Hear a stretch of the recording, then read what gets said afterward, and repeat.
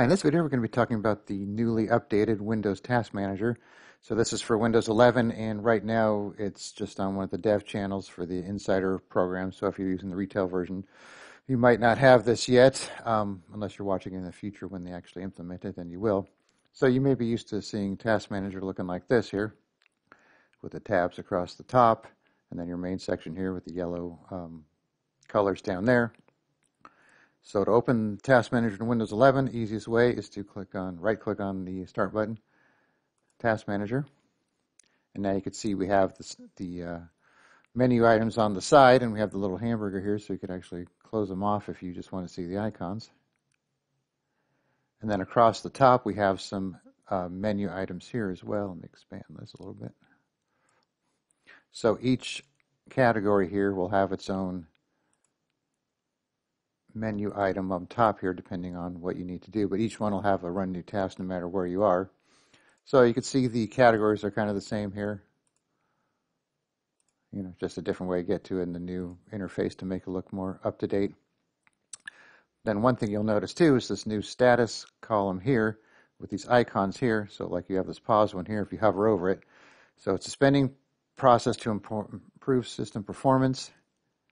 And this one here is using efficiency mode. So some Microsoft products like you know Edge and I think the Office products will use this efficiency mode to kind of uh, cut down on resource usage when you're not actually using them.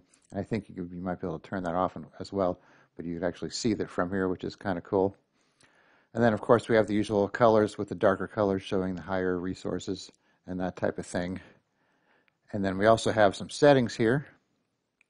So if you want to change your default start page or tab. Well, I guess not really tabs anymore, but the page here. You could do that. Uh, the update speed, you could change that. And then how you want it to run, always on top, minimize unused, item minimize, and these other options here for showing the full account name and the history for all processes. You could turn that on or off. And up here you have your view options. If you want to change that, you know, like I said, each one's going to have its different sections here you know, copy and you could open Resource Manager. Uh, you could open an app from there, change your startup item. So this is all stuff you could do before. So one thing that you might like is the ability to change the colors here. So let's say you don't like this blue and you want to change something else. You could go to your Windows personalization settings. Let me reopen that here. And then you want to go to the colors section here. And let's say we want to use red. So that'll change this to reddish color here. And then also,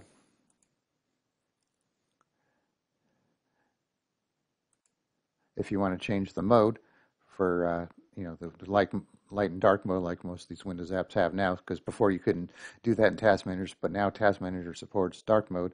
So you have to change that for your computer. You can't just change it for uh, Task Manager. This is, you know, system-wide thing. Some of the Windows apps you could change per app, but for Task Manager, at least right now, you have to change your whole system mode, and now you have the uh, dark mode for Task Manager as well. So let me turn this off here because I like the uh, regular mode here. You can also do custom mode here. Let's just put it back to light. And then, you know, obviously, like I said, you could change your colors and so on. So it's pretty cool. So like I said, you may or may not have it depending on when you're watching it and what version of Windows you're running.